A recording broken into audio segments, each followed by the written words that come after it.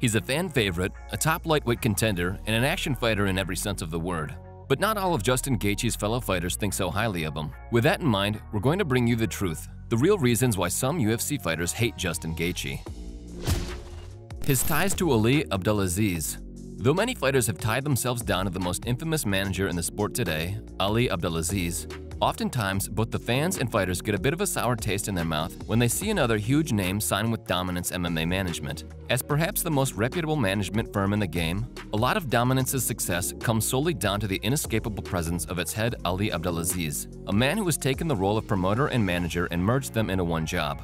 A lot of fighters who don't fall within the Dominance family are quite quick to criticize those who are, calling Abdelaziz a morally questionable figure to have ties to while also accusing him of attention-seeking in spite of the interests of his clients. Ali's a crazy dude, just like Justin is, and sure, his practices are a bit strange, but one look at his list of success stories will tell you that Abdelaziz is the very best in the business at getting his fighters the biggest possible matchups. So depending on how you feel about that, Gaethje's connection to this controversial figure might be a bit of a knock of him. We know for a fact that it certainly is for some of his fellow UFC fighters. His earnings it might seem like an odd thing to be upset about, but for any fighter hoping to bring home an extra $50,000 to their family, finding out that Justin Gaethje is also featuring on the same card is something of a nightmare. The man is a performance bonus machine, always likely to take home an extra lump of cash for his brutal finishes or his fight of the night winning showdowns. It's not necessarily Gaethje's fault that he's so entertaining, but somewhere deep down, we'd be willing to bet that it absolutely kills his fellow fighters to know that their chances of nabbing one of those elusive 50k bonuses reduces massively as soon as Gaethje's name joins theirs on the billing. Seriously, ever since Justin signed with the UFC in 2017, in just 8 fights, he has managed to win Fight of the Night 5 times and a performance bonus 4 times, becoming the first fighter in UFC history to take home an extra paycheck in each of his first 7 outings. If you take his loss to Khabib out of the equation, Gaethje has walked out of there with either 50 or 100k extra each and every time. Is it right of us to call that unfair? Absolutely not. Justin is an electric talent and it's only right that his hard work is paying off in such a lucrative way. But for his fellow athletes, that is well and truly a track record worth being jealous of. His support of Donald Trump. Trump is a huge fan of MMA. He's a huge, you know, he's a reason, maybe not a huge reason, but he's a reason that that you know UFC is here. Politics and the fight game aren't exactly a match made in heaven, but every so often, the two topics end up getting tangled together, something that was never so prevalent as during the presidential run of Donald Trump. Obviously, as an incredibly divisive figure, Trump isn't exactly everybody's cup of tea. And when Gaethje appeared at one of his rallies alongside his fellow fighters Colby Covington and Henry Cejudo, it was always going to ruffle a few feathers. And though, unlike Colby and Jorge Masvidal, Gaethje hasn't been the most vocal supporter of the Republican president. His ties to Trump have been enough for many fans and fighters to see him in a new light. Whether it's actually relevant or not is down to your own perspective.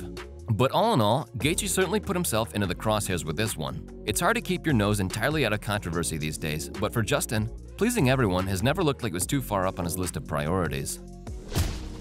His leg kicks.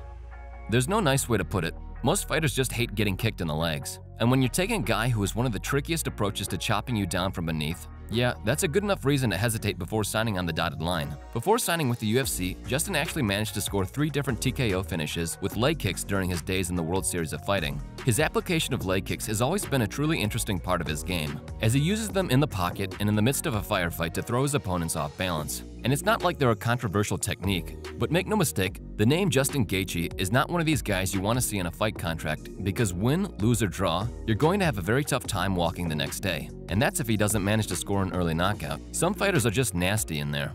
And when it comes to taking on the highlight, you're all but guaranteed an incredibly tough night at the office. Just ask the former lightweight champion Eddie Alvarez, a man who was forced to absorb an ungodly amount of punishment to the legs before finding a miracle TKO victory in the last round. We'd bet any amount of money that he was in some serious agony the following day. Remember, if you're enjoying this video and want to help our channel out, be sure to leave a like to push Watch MMA to the very top of MMA YouTube. His trash talking.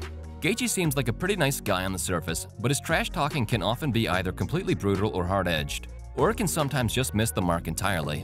Take his UFC debut against Michael Johnson for example. From start to finish, the trash talk exchange between the two came across as forced and unnatural, as Johnson promised to give him a rude welcome to the UFC once the octagon doors closed. Sure, Gaethje was the least cringeworthy of the two, but even still, his own attempts to talk up his chances fell flat on more than one occasion.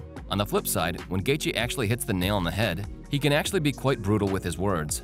Though a pretty mild-mannered guy in general, his rivalries with the likes of Conor McGregor and James Vick have showcased a coldness to this former UFC interim champion that is sure to rub some of his fellow fighters the wrong way. Sure, his fight against Khabib Nurmagomedov and Dustin Poirier saw him adopt a far more respectful tone, but make no mistake, Justin Gaethje has a mean side. One he's not afraid to show under the right circumstances. Could you imagine how electric a press conference between him and Conor McGregor would be?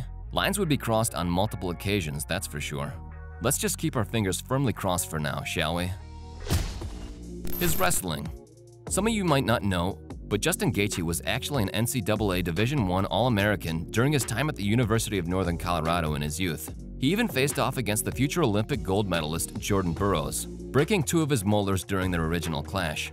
Again, this might be surprising news to some of you, given how Gaethje fights, and for his fellow UFC athletes, to be frank, most of them would kill to have his level of wrestling experience underneath them. And for those who find his style barbaric and rough, there's probably quite a bit of frustration for them as they watch this decorated wrestler refuse to use his base skill set. Sure, he doesn't do it out of any level of disrespect for the sport of wrestling, but with his focus so heavily on getting into firefights that it's hard not to consider him as someone who is wasting a significant part of their skill set in favor of just generally fighting like a crazy person. Call it nitpicking, but we're certain that many fighters hold this belief.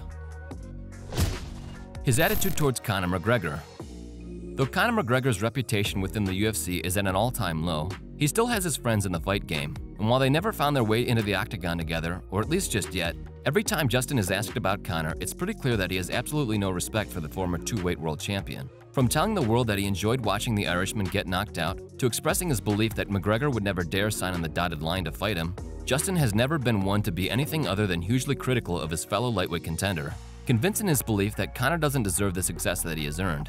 The highlight makes a point of taking a dig at McGregor whenever the opportunity presents itself, and with McGregor himself as some of his friends, training partners, and general supporters to be found within the UFC roster, we're certain that this has rubbed a lot of fighters up the wrong way. Sure, he's controversial, but a lot of fighters are of the opinion that the sport and the opportunities within it simply would not be the same if it weren't for this brash, loudmouth champion from Dublin, Ireland.